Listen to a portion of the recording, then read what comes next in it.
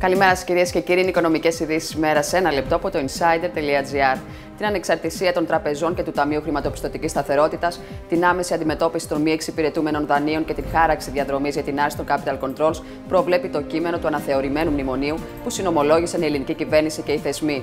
Δεν θα ληφθούν μονομερείς δημοσιονομικές ή άλλες πολιτικές ενέργειες από τις ελληνικές αρχές, οι οποίες θα υπονόμευαν τη ρευστότητα, τη φερεγγιότητα ή την μελλοντική βιωσιμότητα των τραπεζών, ξεκαθαρίζει το κείμενο και προσθέτει πως όλα τα μέτρα νομοθετικά ή μη πρέπει να λαμβάνονται σε στενή συνεννόηση με τους θεσμούς. Ενδεικτικά με το κείμενο του νέου μνημονίου, οι ελληνικές αρχές δεσμεύονται να διατηρήσουν επαρκή ρευστότητα στο τραπεζικό σύστημα σύμφωνα με τους κανόνες του ευρωσυστήματος και να επιτύχουν μεσοπρόθεσμα ένα μοντέλο βιώσιμης τραπεζικής χρηματοδότησης, να προετοιμάσουν και να δημοσιεύσουν τον οδικό χάρτη για τη χαλάρωση των κεφαλαιακών ελέγχων, αποφεύγοντας αδικαιολόγητες καθυστερήσεις, ενώ πρέπει οι αρχές να αξιολογήσουν και να αντιμετωπίσουν τα εμπόδια στην δευτερογενή αγορά των μη εξυπηρετούμενων δανείων που μπλοκάρουν την ταχεία διοδότηση εταιριών διαχείρισής τους.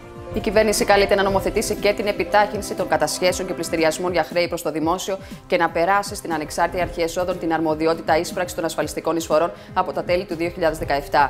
Το επικαιροποιημένο μνημόνιο αποκαλύπτει επίσης την κατάρτιση εθνικού σχεδίου εισπράξεων με πλήρως αυτοματοποιημένες διαδικασίες κατασχέσεων αλλά και ενδεχόμενες διαγραφές ανεπίδεκτων ίσπραξης φορολογικών χρεών. Πτωτικά κινείται η χρηματιστηριακή αγορά στο σημερινό άνοιγμα της συνεδρίασης με το γενικό δίκτυο μόνο κειμένη σε 756,46 μονάδες, καταγράφοντας απόλυση 0,91% σε άνοδο τα ευρωπαϊκά χρηματιστήρια. Για περισσότερες ειδήσεις στο insider.gr.